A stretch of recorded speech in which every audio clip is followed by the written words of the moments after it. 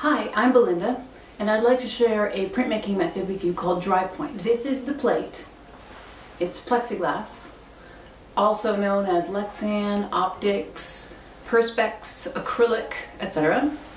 And once it's inked and wiped and put through the press behind me, this is the print. Let's have a look at how this was made and maybe you can make one too. The first step was to bevel the edges with a rasp and sanding blocks. I sketched the figure in the plate and then pulled a proof or test print. I painted the proof with watercolor, then scanned it and printed the scan in black and white. Painting the proof print allowed me to study the values in the image. By scanning the proof print and then printing it in black and white, I have a map of my darks and lights. The reference for my cross-hatching and detail now comes from a painting instead of a photograph, and I like that. Each line engraved in the plate is a trough that will hold ink. Lines that are incised close together or in a crosshatch pattern create a lot of tooth on the plate. By tooth, I mean rough patches, which will hold a lot of ink and result in printing some nice darks. I used three tools on this plate and I've put links to each of them in the comments below.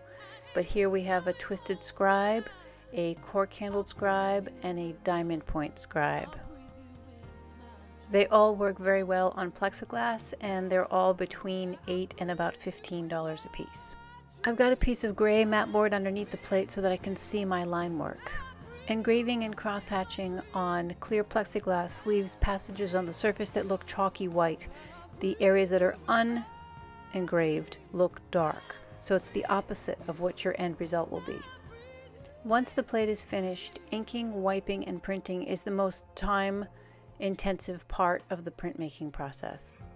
I've learned the most about this by reading a lot of books and also by scrutinizing dry points in museums. On this plate, I have applied the ink with a dauber, scraped off the excess with a plastic card, and the first pass of wiping was done with tarlatan. Tarlatan is starched cheesecloth, and that can be purchased online or at any art supply store that sells printmaking supplies. After the tarlatan, I use crumpled pieces of phone book paper or newsprint. And each passage of wiping gets slower and more meticulous. Here I'm using a cotton nib to polish some bright white areas. And the trick with wiping these plates is to go very, very slow and meticulous. At the very end, you wipe your edges before putting the plate on the press. Printmaking paper is torn to a size just a little bit larger than the plate and then it's soaked in water for 5 to 8 minutes and then blotted before printing. The piece in this demo is a small edition of 10, so the inking, wiping, and printing happens 10 times before the plate is destroyed. Dry points can be left as is or enhanced with other media. As with many of my prints, I plan to add watercolor to this one.